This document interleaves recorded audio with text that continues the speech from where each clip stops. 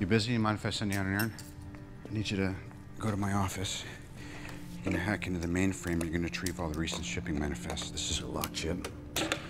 This will get you in. It's probably under executive files. If not, they put it on a ghost drive, in which case you need to look for the lowest numeric heading. And what do you plan to do with this information if I bring it back here? Same drill. They've been dealing under the table, and I'm gonna stop them. I'm gonna find my weapons and destroy them. Tony, you know that I would help you with anything, but I cannot help you if you're going to start all of this again. There is nothing except this. There's no art opening. There is no benefit. There is nothing to sign.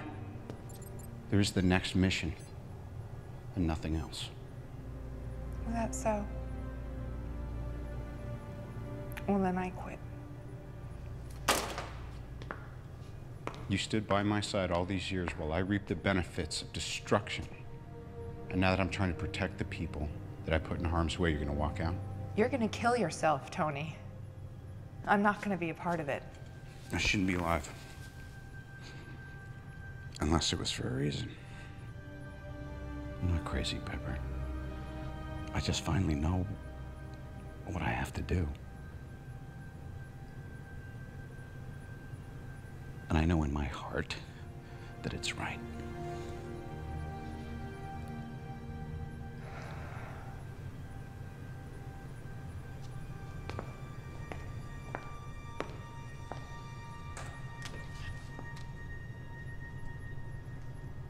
You're all I have too, you know.